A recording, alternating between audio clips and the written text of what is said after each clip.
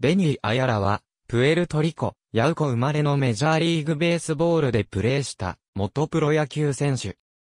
外野手兼一塁手また、指名打者。1974年8月27日に、シェイスタジアムでニューヨークメッツの先発左翼手としてデビューを果たす。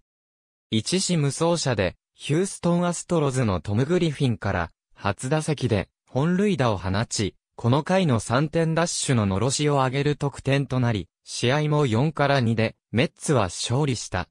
背番号18を背負い主に両翼外野手でプレーし、1974年は23試合、1976年は22試合出場に止まった。1974年シーズン後、1975年はメジャー昇格がなく、1976年は試合に出場したが、その後、ダグ・クラレートのトレードで、セントルイス・カージナルスへ移籍した。1979年シーズン前に、マイク・ディメルとのトレードで、ボルチモア・オリオールズへ移籍した。移籍後は、プラトーンシステムで、ゲイリー・レニキーやジョン・ローベンシュタインとの起用がされた。オリオールズでは、2回のワールドシリーズに出場した。